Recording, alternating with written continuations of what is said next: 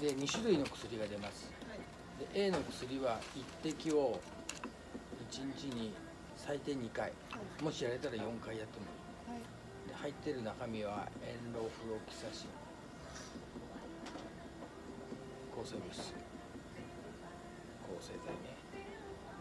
それからあとは胃腸の動きを良くするメトクロプラミド。要は食欲が落ちないようにね。胃腸機能を高める薬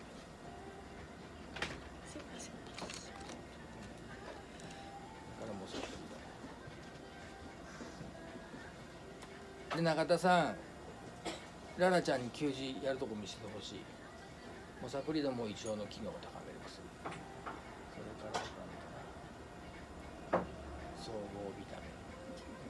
こっちですね A の薬はね。それからタウリン。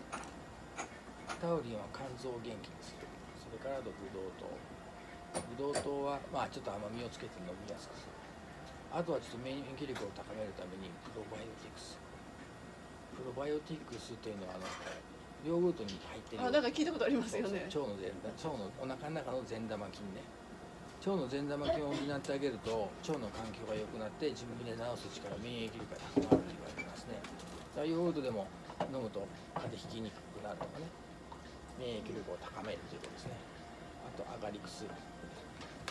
アガリクスっていうのはキノコなんですけど、うん。キノコ類にはベータグルカンというタンパク質が入っててアガリクスはたくさん入ってるんですけどこれもそう自分の免疫力を高めてくれます。あとスーパーソフィア。これも乳酸菌が作り出す物質で、まあ、免疫力を高めてくれる。そんだけのものが入ってます。でやる前によく振ってそれから必ず冷蔵庫保存。ですねでこれめ点眼瓶目薬の入れ物に入ってるんですけどよく振って一滴飲ませると。今から実演しますからね。から B の薬。B の薬は一滴を1日1回でいいです、でこれはもう毎日夕方か夜で。入ってるのはピロコキシブ。これは何かというと消炎鎮痛剤、まあ、いわゆる痛み止めです。炎症を抑えると。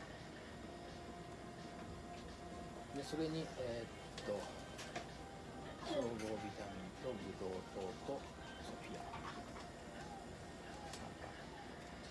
けど総合ビタミンとブドウ糖とソフィア免疫力高めるものが入ってます。だからこれもやっぱ下に溜まってますから。前もってよく振っとくと。そんで一回止めなくてもいいか。はい。で振ってかけといて。はいごめんね。まず私も右利きだからまず右で。でこれがさっと捕まらない時は部屋を暗くするといいです。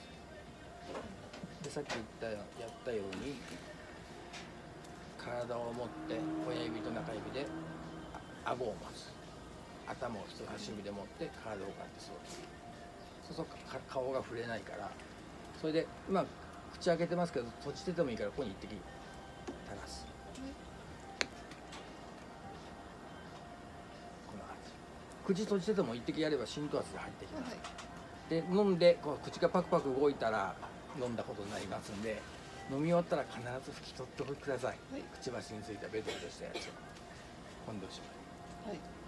で私がやっちゃうと簡単に終わっちゃうんだでけど。すよね。なかなか。なかなか。でそれでさっきあのあれで練習してもらったんですよね、じゃあ覚悟ちょっとお願いします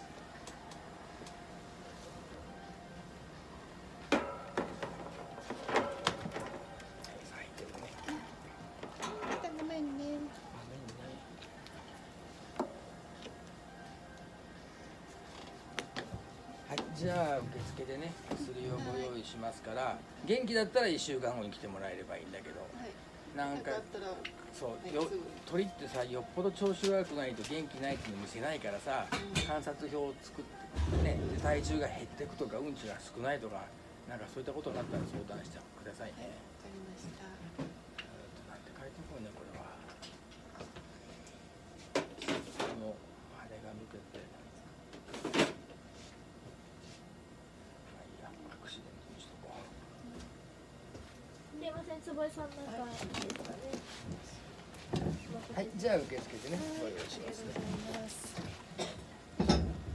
で動画